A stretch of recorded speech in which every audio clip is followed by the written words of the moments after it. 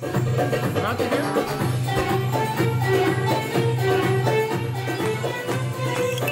Ik begin me echt vreselijk te irriteren aan hoe dat ze nu bezig zijn. eigen schuld, dikke boot.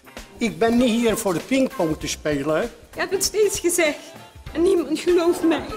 Ik ga het niet betalen. Dat waren zijn woorden. En toen werd ik link. Christine Vervliet en haar man George Moussini El Aloui lopen al jaren zonder problemen door de tuin van de buren. Totdat de nieuwe bewoners Linda en Jeffrey Jansen er komen wonen. Linda kan namelijk niet tegen veel prikkels en vindt het vervelend dat de buren te pas en te onpas door haar tuin lopen. Ook vinden Jeffrey en Linda dat George en Christine vaak luidruchtige feestjes houden. De boel escaleert, maar zo erg zelfs dat de buurvrouwen elkaar in de haren vliegen.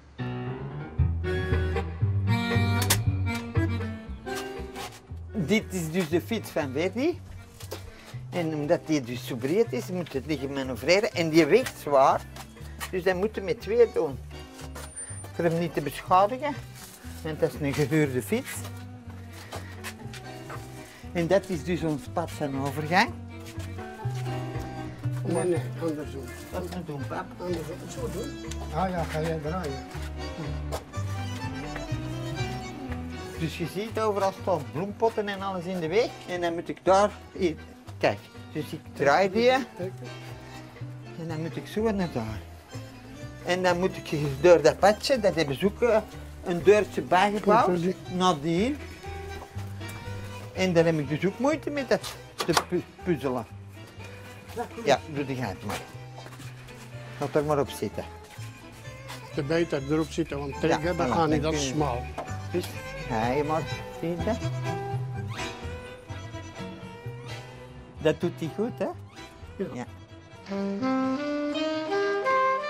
Dit is onze trouwfoto. Ehm, Linda die is er niet bij in verband met eh, gezondheidsredenen. Die heeft daarvoor een verbod gehad van haar huisarts. Linda heeft een eh, vorm van autisme. Spanningen zijn voor haar veel te groot. Wat kan ze niet handelen? Het grootste probleem wat hier speelt is het recht van overpad. De buren komen te pas en te onpas bij ons over de werf heen. Mijn vrouw die vindt dat eh, niet, niet prettig. We hebben geen privacy meer. Ja, de rust is eh ver te zoeken hier.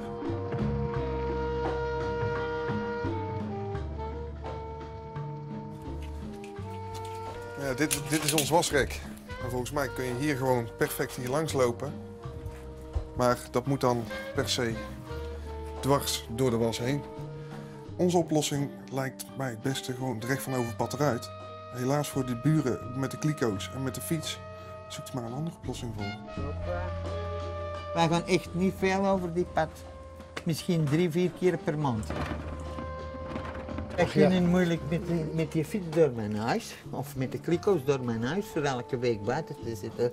Dat is dus iets dat niet mogelijk is gewoon. Nee, blij mee met die fiets. En het is belangrijk dat een fiets, want eh, hij is nogal naar de zware kant, dus hij heeft de oefening nodig. Draai hem maar. Dat Verdi aankomt, ja, dat is niet mijn probleem. Dan, moet, dan moeten ze met die jongen of meer gaan bewegen, of ze moeten hulp daarvoor gaan zoeken. Diëtisten, weet ik allemaal wat.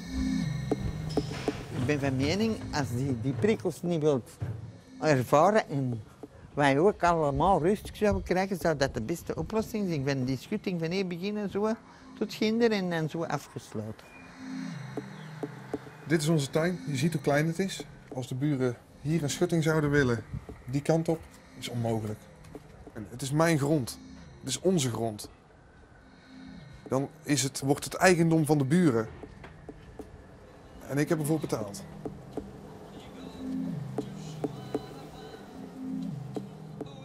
De buren die hebben vaak luide muziek aanstaan. We zitten hier dan zelf eh, mee te dreunen op de muziek. We kunnen de tv niet aanzetten.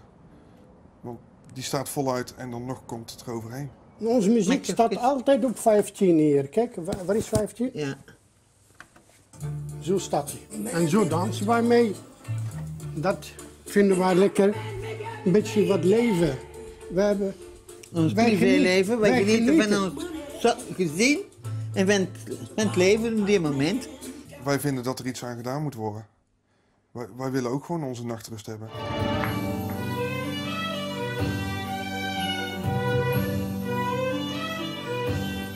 Op zondagavond tot kwakvereen luide muziek. Dat, dat wil niemand. Ik moet ook gewoon vroeg mijn bed uit.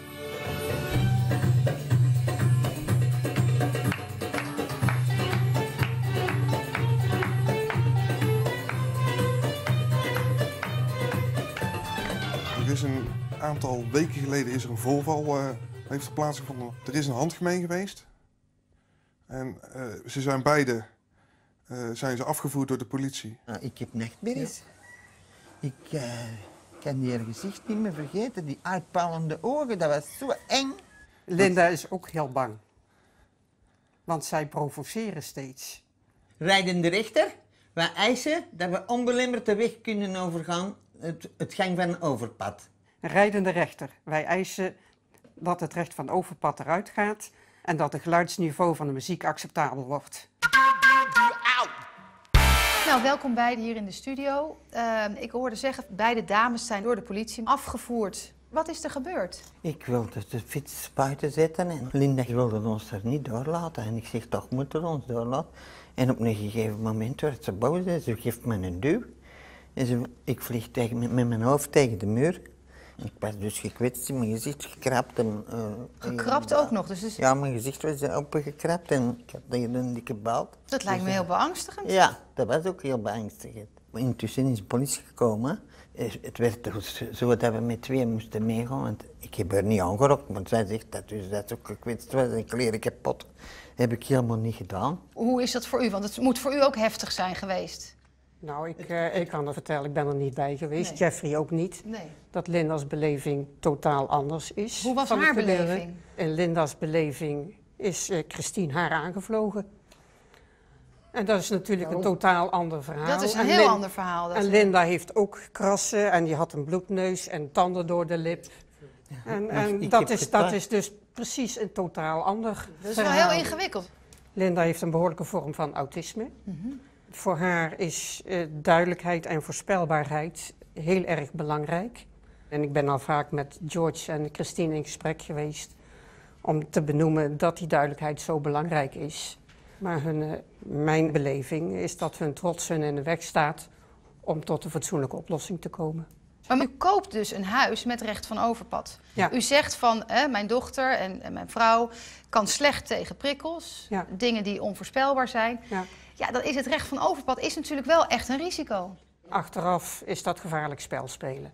Zeker je moet omdat je, je, moet je eigen inbeelden dat eh, gezien het inkomen eh, van Jeffrey en Linda, dat er niet veel mogelijk is. Wij, wij hebben meermaals gevraagd, joh, als je met de fiets naar buiten wil, bel even aan. Dan komt het niet zo plotseling. Dan komt het niet zo plotseling, maar dat is dan de trots die ze niet kwijt willen raken en zeggen, maar dat is onze, onze privé. Want u zag dat niet zitten aanbellen? Kijk, de manier waarop zij met ons praat, is heel vernederend. Zij doet heel uh, En hebben we het over Linda? dominant. Dan hebben we het over Linda? Ja, zijn brutale manieren. Zij is hè? dominant en Voor brutaal. de, voor de muziek eh, zachter te vragen, als wij zitten te feesten, om 9 uur s'avonds, komt ze niet bellen. Komt ze tot aan de raam, die klopt zo hard aan de raam. En als ik kijk, dan doet hij. En als ik aan de deur ga, wil je eens die muziek zachter? Dus u zegt eigenlijk de manier waarop ze het vragen maakt dat wij dominant. het niet doen. Te dominant. niet- nee. Herkent u het voor- in dat, dit verhaal? Ik, ik hoor dat van meer mensen terug, dat, dat Linda wel eens eh, dwangmatig over kan komen. Ja. Ja. Maar laat niet onvermeld dat George en Christine ook wel zelf behoorlijk temperamentvol wezen. Als Dus reactie ja, dat, erop. Dat, dat, dat, dat gaat Als tegen reactie elkaar erop. omhoog op een gegeven moment. Ja, dus ze halen eigenlijk het slechte in elkaar naar boven. Dat Ja, is een beetje nou, de... meer. Maar ik ben nog niet klaar hè, met mijn verhaal. Ik, ik voel me helemaal niet meer veilig op dat gebied. Als ik over die pad ga, zorg ik dat er iemand bij mij is. Ja, ja, zo erg. Anders voel ik me niet op mijn gemak. Maar Want hoe- ze hoe- komt zelf ook naar buiten. Elke keer. Dus ik Oh, weet ja, niet meer hoe, we- hoe dat ik moet Ik reageren. begin me echt vreselijk te irriteren aan hoe dat ze nu bezig zijn. Ja, wat, wat, wat gebeurt er dan nu? Liegen. Liegen, liegen, liegen. Hm. Ze zet alleen de fiets op de werft, ze loopt alleen naar de straat, ze haalt de kliko naar binnen en ze gaat naar binnen. Wat is het dan liegen? Ik moet iemand erbij hebben. Ja, mijn, mijn, of mijn schoonzus stond in de, in de schuur klaar voor als er iets gebeurt. Heb ik altijd iemand in de buurt. Ik vind het heel fijn en heel goed dat jullie hier nu staan. En ik hoop dat juridisch duidelijkheid wat gaat oplossen. En laten we daar dan mee beginnen en kijken wat er dan verder gaat. Eh, Meester Reed maakt op locatiebezoek een raamsdonker feestje mee. En hij onderzoekt samen met een geluidsdeskundige de overlast hiervan. En hij gaat met een tuinarchitect de tuin in.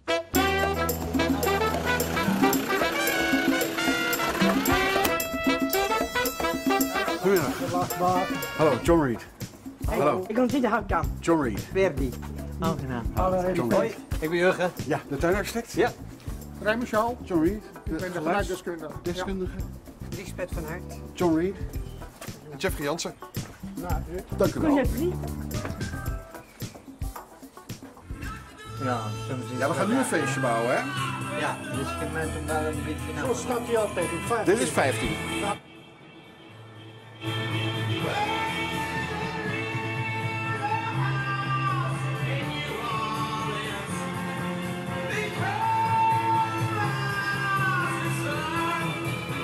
Bedankt. Dan zitten we op uh, Nou. CD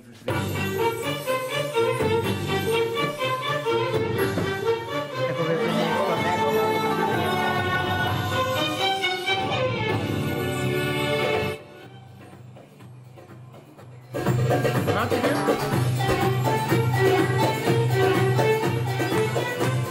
Oké, bedankt. Dank u wel. Die Prachtig. Dank je wel. Die gaat veel. Ja, ik ben ook met mijn pleegros. Ja. En dan keren die de weer fruit. En dan denk ik de alle zouten met? Ja. Hij staat nog steeds op 15 neem ik aan, hè? Hè? Ja, op 15. En noemt u de eerste soort muziek? Moderne muziek. En de tweede noemen we Oriëntaal. Oriëntale muziek. Ja, oké. En we gaan ze allebei luisteren, maar nu ook. aan gene zijde. Ja. Mag ik binnenkomen? We hebben net bij de buren muziek gedraaid. Hoorde u iets? Nauwelijks. Zachter dan normaal. Zeg Vele malen zacht. vele malen zachter. Vele malen zacht. Nou, we gaan in ieder geval nu muziek laten draaien op hetzelfde niveau wat wij daarnet gehoord hebben.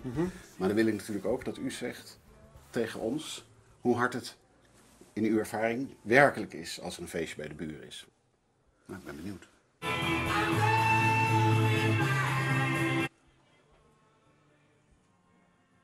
Daverende stilte is ons deel. Ja.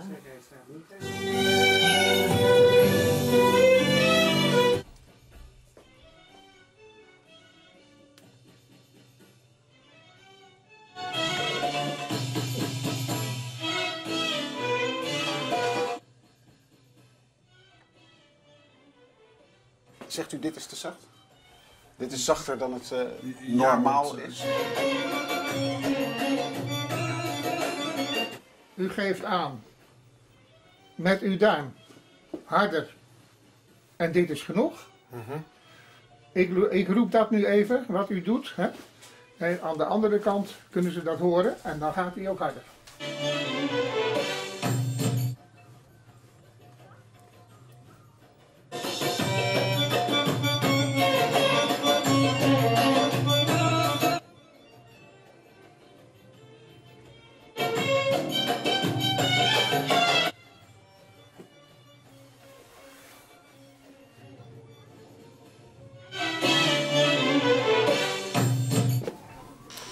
Kan daar niet blijven met die max op staan, hè. Dan hoor ik geen muziek niet meer. Dan krijg ik pijn in mijn oren mee. Dat kan niet. Oké, hartelijk dank. Dat is Zet u hem eh, alstublieft dat is uit. de muziek dat wij altijd draaien, hè. Daar gaan we het straks op de hoorzitting over hebben. Ja. Ik wil nu dat hij uitgaat. Oké. Dan gaan we nu naar buiten om de schuur te bekijken. De bewuste tuinen. Ja, Hoe vaak gaat u met de kliko's hier? één keer per week. Ja, dat was, zegt u Twee, twee keer En, per en week. de Twee keer per zondagavond, de zondagavond eruit. En, En de de maandag maandagmorgen binnen. Maar ook wel eens zondagmiddag eruit. Dat is dus twee En, en maandagmiddag. Ja, het komt erop neer. Je hem Komt buiten neer en je dat hem terug binnen. buiten en binnen. Ja, dus dat is Klaar. twee keer per week. Ze gaan er dus uit en erin. En Linda schrikt heel erg. Ja, die schrikt daarvan. Nou, Oké, duidelijk. Dat is dat over de kliko's. Ja. Nu over jouw fiets. En waar staat die? Er. Laat maar zien. Oh ja. Dit is dus nu wel. En dan is het gekregen gemeten. En dan heb ik prins hoor. Zo'n bril, zo. En dan ga je. Ja, hij is zo breed. Ja, zo breed, ja. Hoe komt hij, eh, hoe komt hij op de weg? Dan ga ik de weg, dan ga je dat, dat draaien. Dan ga je links draaien, als thuis kom je hier. Ik ga het proberen. Ga jij de fiets uithalen, Ik mama? ga hem helpen, want dan kan hem niet alleen. Of kan ik dat niet alleen? Met, Twee met personen moeten zijn. Moet dat twee personen Twee zijn? Ja, personen. want dat De fiets is zelf ook niet heel licht. Nee, maar Dit hierom, dat is alleen om te laten zien hoe dat gaat hier, hè. Dus nu zijn we nou van die Ja, afgekomen. En de was hier hangt hier. Moet er mee oppassen dat je niet tegen de was. Anders is Linda boos. Kunt u maar... Het te rijden Kan ik zien hoe ver die... Een kleine correctie, Christine loopt dan ook aan deze kant. En niet aan die kant van de proberen wij ons. Heel de Hoe staat niet dat? hier, hè. Kijk eens hier, wie ze daar hangt. Hangt hier, Kom eens aan deze kant van de fiets staan. hangt hier. Je, je loopt altijd aan de linkerkant van de fiets. Ja, dat mag Nou. Dat ik nou juist zo, zo sta. Dus ik moet onder die was onderdoor lopen. Ja. Oh, en hangt hier de hele week was? Nee, week. alleen in het weekend. Regelmatig, natuurlijk. Hè. Met Jeffrey. Deze week, verleden week, even- hij heel de week ik. Heel de week.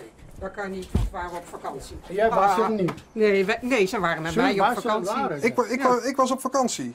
En De was wordt uits- momenteel, hè. Hebben de was wordt uitsluitend altijd. in het weekend gewassen door mij. Dus maandag tot en met vrijdag hangt hier helemaal geen was. Nee. Ik wil het daarbij laten. Ik wil even achter de fiets aanlopen. Want je ziet, dat is dus weer extra smal. Ja, dat is smal. En stap maar op, Femi. Stap maar op, Ferry. En ga buiten. Ga Fiets naar links. gaat je richting naar huis, Ferry. Ja. Je. Ja, gaat net. Oké, dat was krap en het ging net. Een schutting, die gaat er wat mij betreft niet komen. Want ik weet niet of dat je het door hebt, maar dan ga je een hele hoop van mijn grond afnemen waar ik niet meer aan kan. Ik heb bijvoorbeeld... een beetje op mijn gebied. Ik heb, Ja, en, heb ik het gevoel. eh, en, ja. en daar hebben wij Ja. gewoon keurig netjes voor betaald. Ik heb, ik heb het toch goed als ik zeg dat u wel heel graag een oplossing wilt. Ja, Voilà. Ja, dat klopt. Als jij wilt eh, honing, moet jij kunnen tegen de prik van de bijen. Dat is mooi gezegd. Ja. Heeft u genoeg gezien? Ik heb genoeg gehoord, genoeg gezien. Ik ga nog een paar maten opnemen en dan, eh, dan kom ik er wel uit. Ik ben heel benieuwd. Ik spreek u verder op de hoorzitting. Ja, die muziek, u zegt van nou, normaal staat hij veel harder dan 15. Ja. Maar ik hoorde Sjors duidelijk zeggen, ja, maar dat doet gewoon pijn aan mijn oren, dus wij zetten hem nooit zo hard. Nee, maar het gebeurt wel. En als ze dan één liedje doen, maar het is vanaf 's middags tot 's avonds laat. En hoe vaak gebeurt dat? Is dat wekelijks? Is dat, eh, Eh, ik denk één keer per kwartaal. oh, één keer per kwartaal? Ja, maar dan wel op zondagavond. Aha. En ik moet maandagmorgen om half vijf mijn bed uit. En dan s'nachts tot acht voor één muziek hebben, dat, dat wil niemand. Nee, Ze hebben altijd iets. Altijd. zo voelt het, hè? Ze zijn nooit tevreden. Precies of een beurman mag niet bestaan voor hun.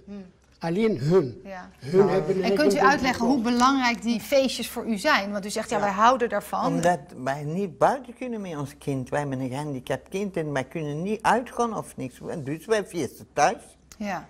En eh, mijn zoon houdt heel erg van dansen en van muziek. Dus Ja, dat wij zagen wij kan prachtig dansen. Het komt erop neer, ik wil mijn zoon gelukkig maken en die houdt van muziek. En ik kan er moeilijk mee in het café gaan.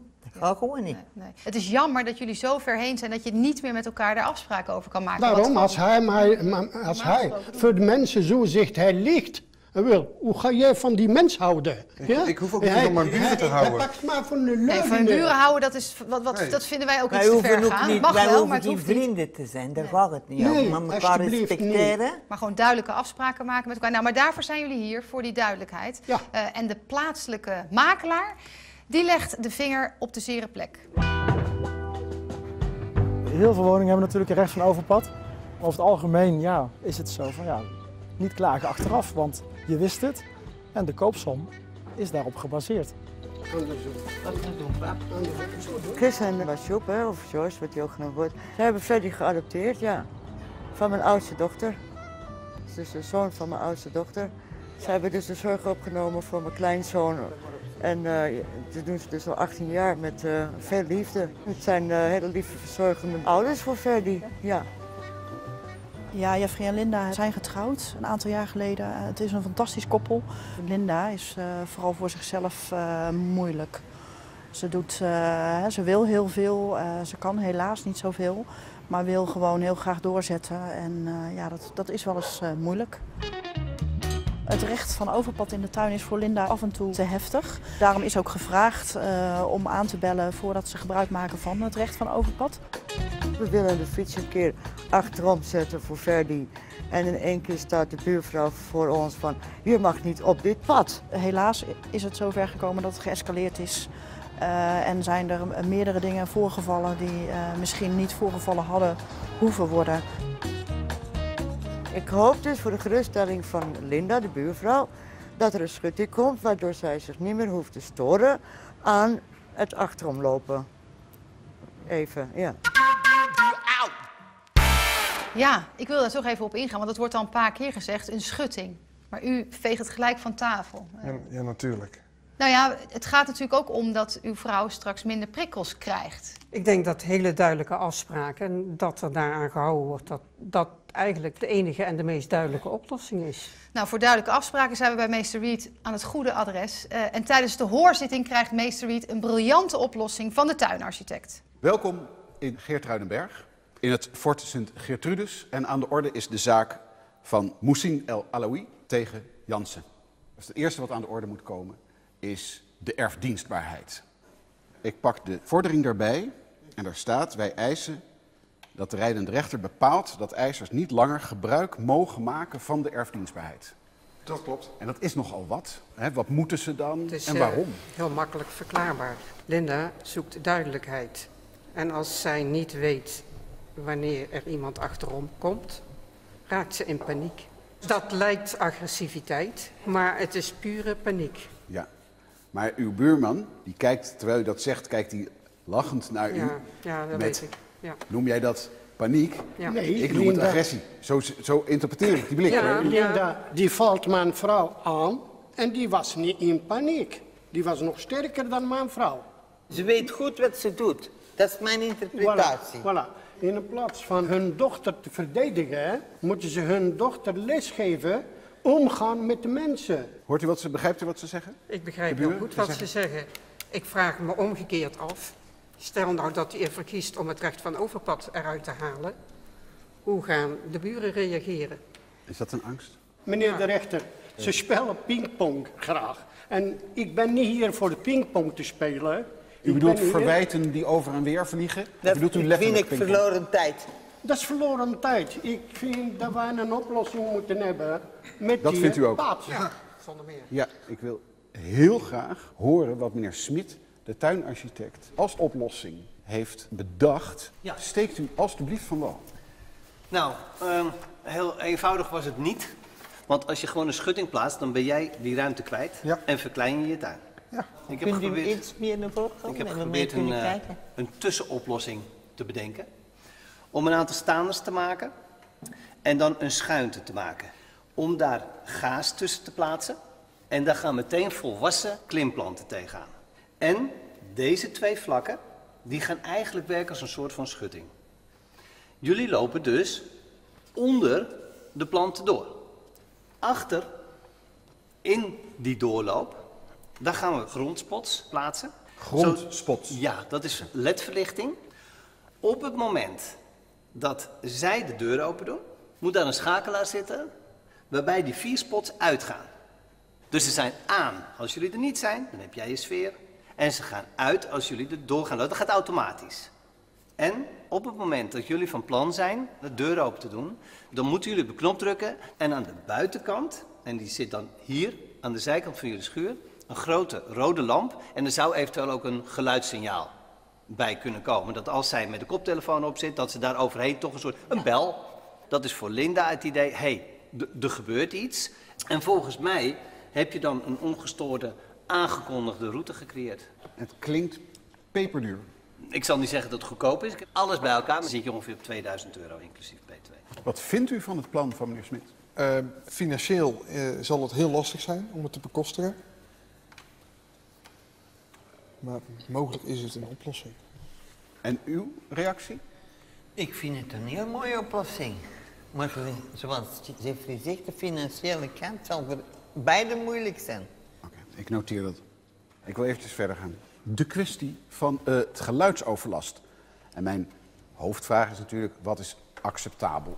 Ja, hè, we hebben van, eh, bij die proef vandaag verschillende standen geprobeerd. De stand waarmee we begonnen, ja, die, die... daarvan u zegt u, als het zo blijft, is het acceptabel. 15 was dat. Maar bij buren moet je toch uh, meer rekening houden met de onderlinge verhoudingen. En als je onderling goed communiceert, kan je normaal gesproken veel meer hebben. Als degene die een feestje geeft, van tevoren aangeeft, ik ga een feestje geven en het is zo en zo laat afgelopen.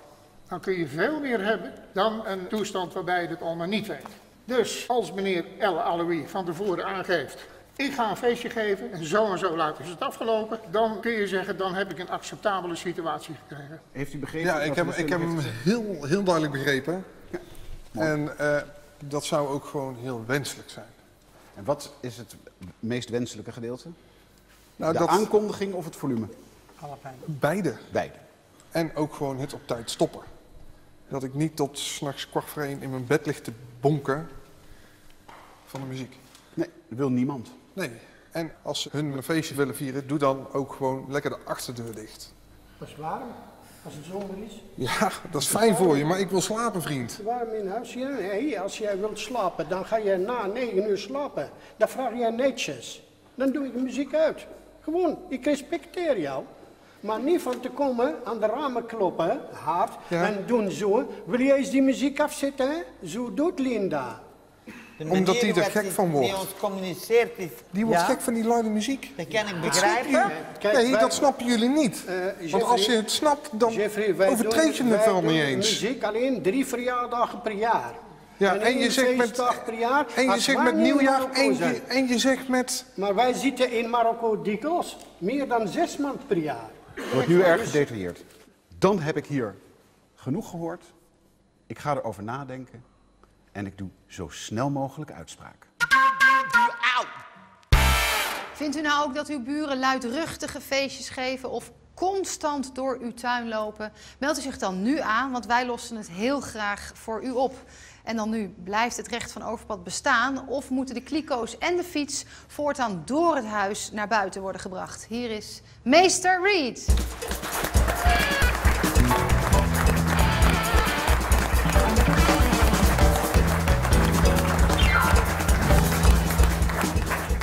Uitspraak in de zaak van Moussine El Aloui tegen Jansen. U staat lijnrecht tegenover elkaar. U wil van de erfdienstbaarheid af en u wilt een onbelemmerd gebruik. De erfdienstbaarheid kan ik niet opheffen, want u bent huurder. En een dergelijke procedure moet gevoerd worden tegen de eigenaar. Ik kan het gebruik wel verbieden. De volgende vragen moet ik daarvoor beantwoorden. Is de uitoefening van de erfdienstbaarheid onmogelijk geworden? Nee. Het blijft fysiek mogelijk om gebruik te maken van de erfdienstbaarheid en dat het voor u psychisch belastend is, valt hier niet onder. En u heeft ook belang bij de erfdienstbaarheid. De rolcontainers gaan niet door de woning en de driewieler van Verdi kan zelfs niet door de woning. Conclusie, u mag gebruik blijven maken van de erfdienstbaarheid. Maar ik ga aan uw gebruik wel voorwaarden verbinden. U moet een waarschuwingssysteem plaatsen in de vorm van een lamp, zodat u gewaarschuwd wordt als de familie Moussin door de tuin gaat. De lamp dient naast de schuurdeur te worden bevestigd. Vijf minuten voordat u door de tuin gaat, dient hij te worden aangezet. De rolcontainers worden op maandag bij u geleegd.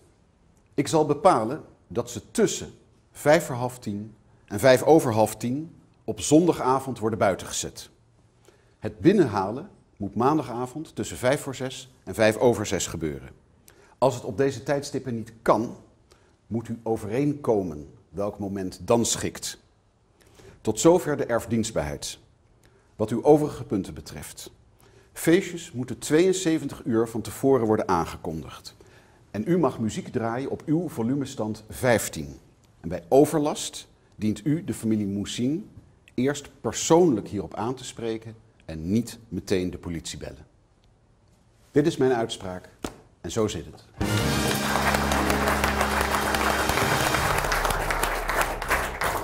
Ja, u vroeg om uh, meer duidelijkheid. Dat heeft u nu gekregen. Vindt u het een goede oplossing? Ik denk dat het een oplossing is uh, die heel goed werkbaar uh, moet ja. zijn. Ja, overleggen met elkaar, dat weet ik niet. Dat zou ik graag doen. Maar ik weet niet of dat zo'n flexibel zijn over dat gebied. Ik beloof u nu al, ik kom nog bij u langs. En dan gaan we het daarover hebben. Oké. Ik wens u eh, he- heel veel sterkte tot die tijd. Dit was de Rijdende Rechter. Bedankt voor het kijken en heel graag tot volgende week. Dag.